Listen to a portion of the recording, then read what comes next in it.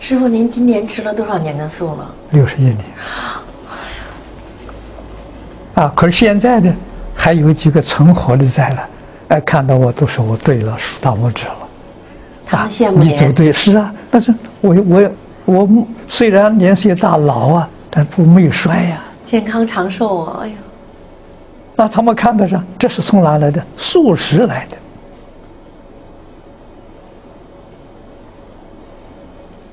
的啊，对身体健康没有妨害，只有帮助啊！啊，你为什么不干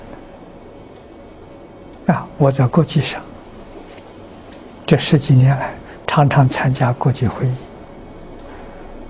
啊，朋友会友们遇到我的时候，头一个就问我：“你怎么保养身体的？”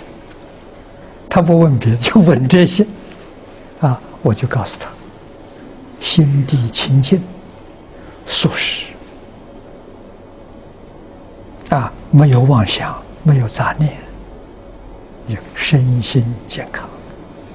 啊，跟他讲别的，他不懂啊！啊，这个很现实的，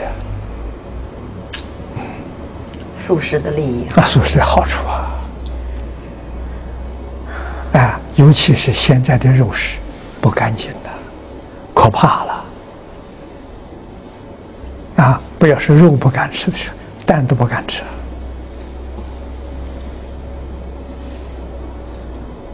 啊！我们常常坐飞机。飞机上的饮食不敢吃啊，不知道它从哪来的。对呀，啊，所以我们在飞机上，我常常过去在美国的时候常坐飞机，我们都自己带便当啊。哦。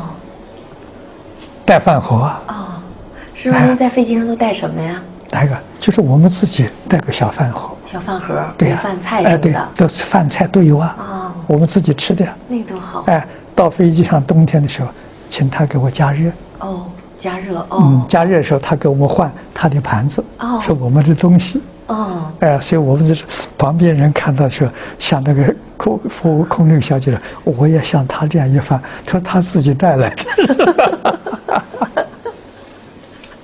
很多人羡慕哈。自己带来的。这个重要。你长途旅行的时候啊，吃东西，这要这一点小心，最好自己带。是的，我肠胃不好，师傅有时候吃飞机上东西，我就下来就要闹肚子。没错，是啊。嗯，真是。哎，旅馆东西都靠不住。是啊。嗯。它不卫生啊。对。对对对。嗯。是。感恩您师傅，感恩您大慈大悲，给我们回答了那么多跟我们人类息息相关的问题。